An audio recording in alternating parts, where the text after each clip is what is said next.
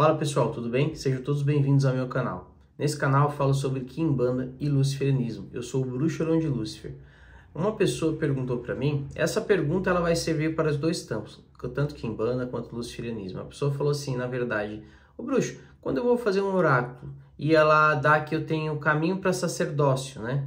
Isso significa que eu tenho um pacto de outras vidas? Não, não necessariamente, tá? Existem casos que ali a pessoa tem algo espiritual, tem pactos de outras vidas realmente, tem coisas que ficaram para trás e a pessoa tem essa dívida espiritual.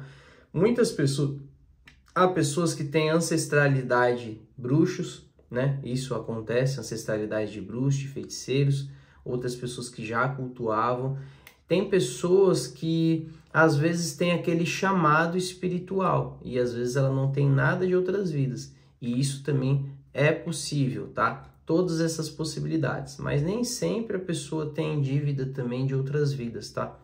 Isso vai variar muito.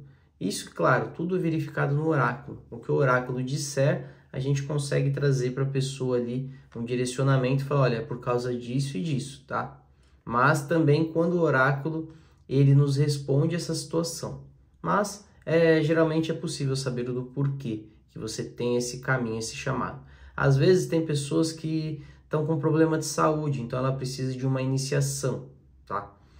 Então é, são N as situações que a pessoa pode e precisa às vezes de uma iniciação. Nem todo mundo precisa de iniciação também, tá?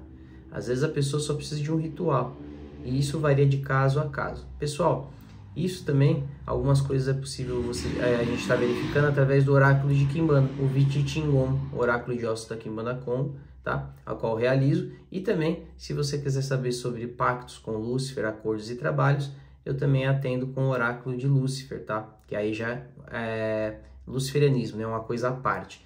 Pessoal, meu contato tá tanto na descrição desse vídeo quanto no, na, tanto no campo de comentários ali, eu deixo fixado ali meu contato do WhatsApp, tá?